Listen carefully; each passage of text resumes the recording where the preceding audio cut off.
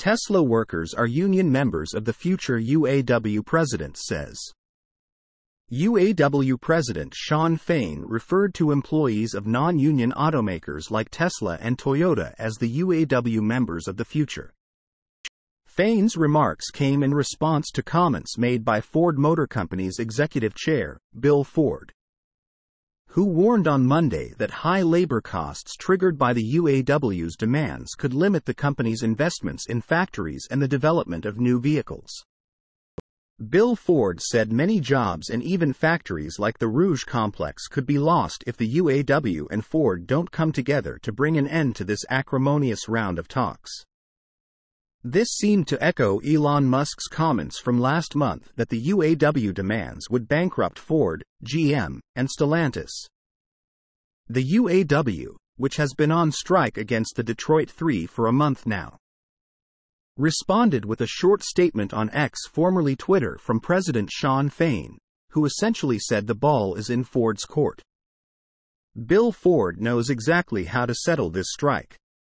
Instead of threatening to close the Rouge, he should call up Jim Farley, tell him to stop playing games and get a deal done, or we'll close the Rouge for him, said Shawn Fain.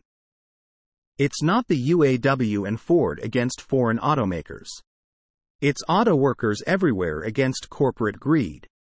If Ford wants to be the all American auto company, they can pay all American wages and benefits. Workers at Tesla, Toyota, Honda, and others are not the enemy, they're the UAW members of the future. The last part of the statement is bound to raise some eyebrows as Fain seem to imply that Tesla, Toyota, and Honda workers will unionize in the future. While that's certainly what the UAW wants, it's very difficult to say whether it will become a reality or not. Tesla is likely the most problematic carmaker for the UAW as CEO Elon Musk strongly opposes unionization at the company's plants.